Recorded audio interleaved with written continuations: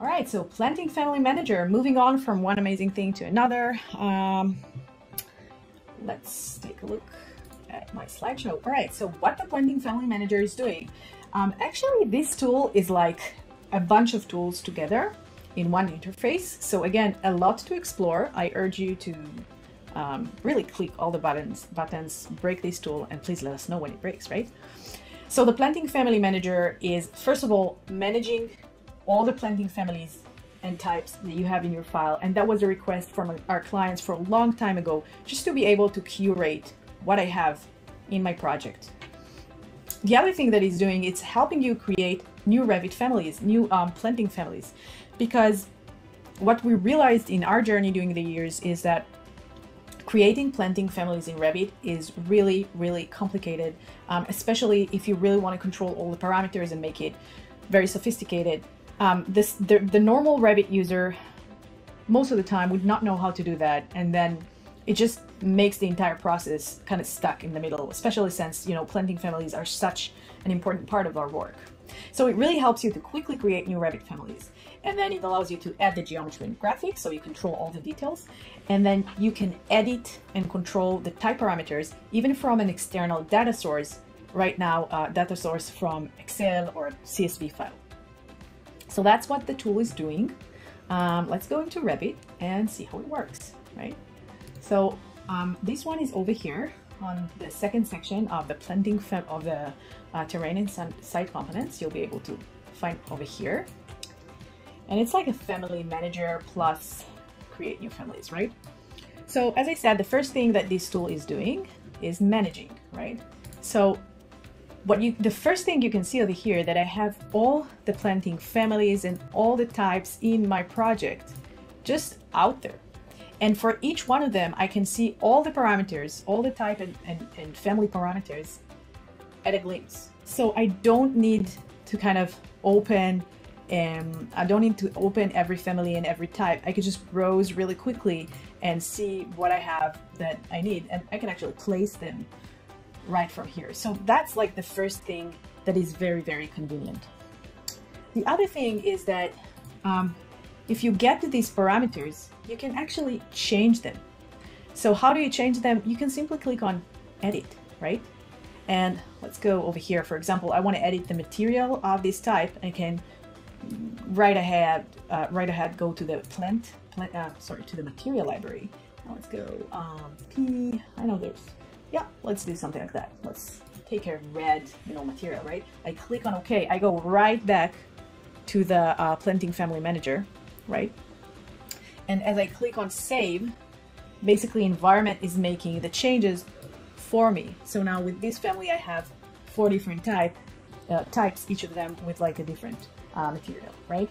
So that's the, the, the, second thing that I could do. I could just edit the um, type properties and of course place them.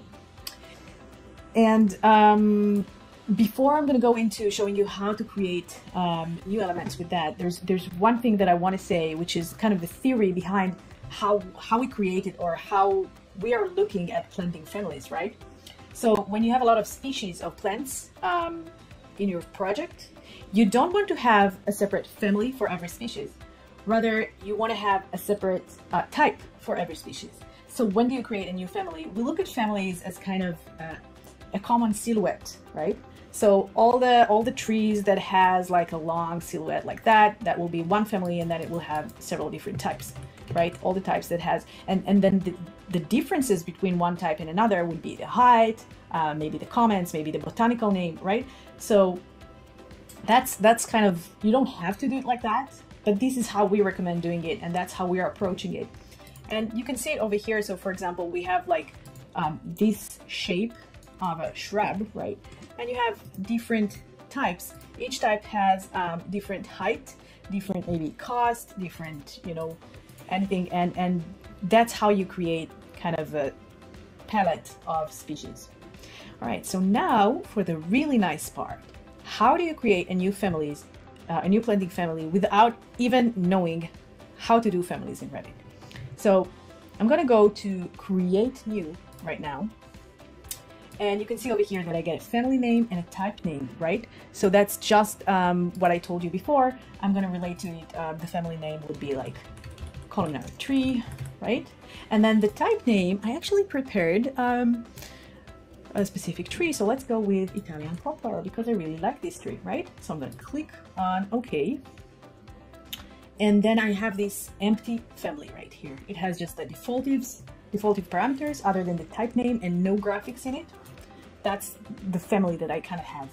So how do I make it into a beautiful family? Let's go to modify graphics. So that's, you know, that's where all the fun is going on in the modify graphics part. I'm going to click on modify graphics and we get these warnings.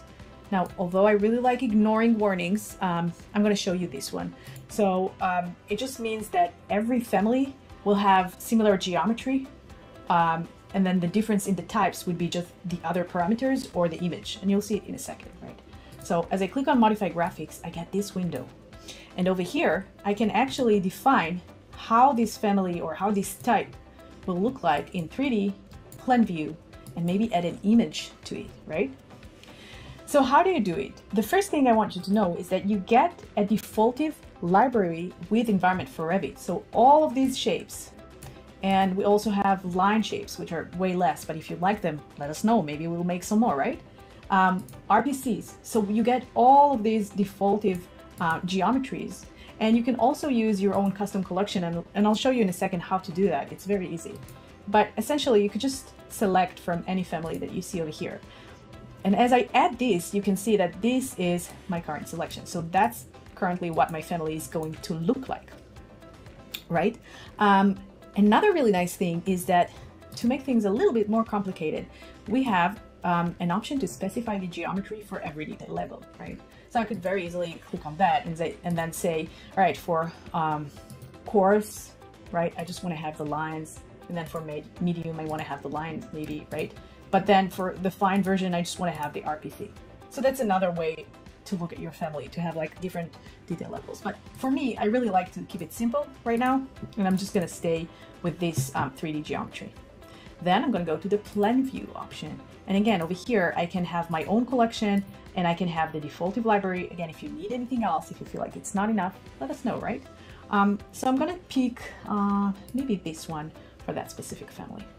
Now here's something really important. Please pay attention. This, I think, I think should always be marked, right? Because what this thing is going to do, the set symbol size, is it's going to allow you to define the height and the spread of the tree separately right? And that's, I think that was like one of the biggest problems in planting families that when you get the height, when you define the height, then it just stretches the entire family regardless and you have no control on the spread of the tree in a plant view. So if you mark this, then you'll have the, the option to control that, right? And here is another really cool addition. And again, that's something that really hard, like you have to know your shit in order to do that, right? So we have this um, create field region option. Let's click on that. And I just like it because you can add color to your family, right, in a plan view. So let's go with applied field region. And over here you can select the color. I always go with the pink. I don't know, let's do something a little less, you know, pink today, right? Um, so, and then you can define which center mark you want to have, what will be its size. I don't want to have a center mark right now because I already have my symbol and then I'll have the, the field region in addition. And then another thing is that you can also uh, place an image in this family and then this image could um, be a part of the type and be shown in a schedule, right? So let's click, click on new image parameter. I'm just gonna click on image, um, but yeah, it just creates a new parameter to associate with the image. And let's see, yeah, Italian poplar, that's what it looks like. I really like this tree. Um, so click on apply, and now that's where the magic happens. So in the background, environment is assembling all these components into a family. Now let's go back to ChatGPT and see what should be like, you know, the height. Um, the height of this tree should be around 15 meters, right? The spread, which is the symbol size, should be, I don't know, around seven, right? Something like that, seven to nine. And for me, I actually added um, project parameters. So any parameter, project parameter or shared parameter you have in your file associated with the planting category can actually appear here and can be used. So I can actually, you know, associate the botanical name with it. I can um, say, I don't know, the, the container size or the caliper, whatever, right? I can have any parameter. And just a quick tip, right? What really helped me is this blog article by Revit Pure, um, just explaining the different types of parameters and how to use them. And if you intend to start curate the planting families um, for your office, that would be a really good tip to just check out this article and, and understand how to use different parameters because we really leave it um, to you. Um, and I'll, I'll, show you another way of adding parameters in a second. So I'm, i just want to save it right now. And let's go. Um, so I'm saving it in the background. It creates a family, right? By the way, remember, that's a regular Revit family that you have here. That's nothing, no environment specific um, element, right? I'm going to click on place instance, and then I'm going to place some trees around my house. And they're pink and pretty. And let's see an example of how I can click on escape right?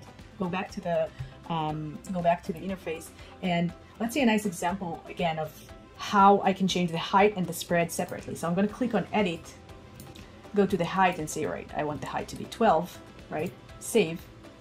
And you can see that the height will change regardless of the spread. And I can do the same um, uh, with the spread size, right? Let's change it to four, click on save, etc. Um, also, I have to show you how this family behaves in real Revit uh, um, world.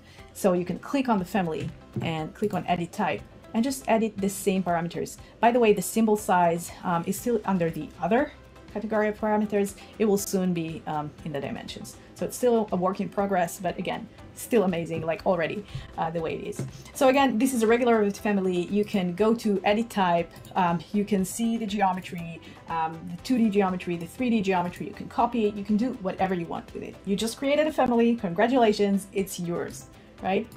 So that's, that's just one way of doing it. Um, I'm gonna take some questions before I show you how to use a database, right?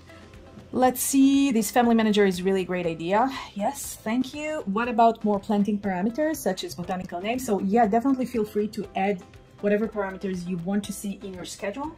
And because it really changes from one country to another, from one firm to another, we tried to make it as open as possible. Um, can you uh, use add your own shared parameters in this window? You cannot add them in, in this window, but as long as you add shared parameters to the file and they're associated with the planting category, then you will see it in this video uh, window and they'll be associated with any family that you create. All right, so to wrap it up, um, let's take a look at how we can use a database. Um, so let's say I want to create a family of um, pine-shaped trees, right? And instead of um, adding a type name over here, I'm gonna load from database. Yay! That's one of the most exciting. So I'm gonna add a source now. I pre-made a source and I have to, full disclosure, let you know where I got this amazing list of data about plants. And this is a cool project but by one of our clients that's called uh, Henning Larsen. And they created a project called uh, GeoPlant and it's open. You can all download this huge Excel sheet with tons of planting information.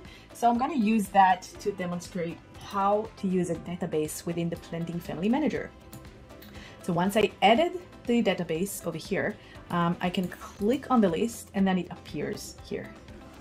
So now I can associate every column with a specific parameter in Revit. And again, if you have shared parameters, project parameters loaded, even family parameters, you can associate them um, with um, this uh, list. So let's click over here. Uh, the scientific name, I like to make it a botanical name.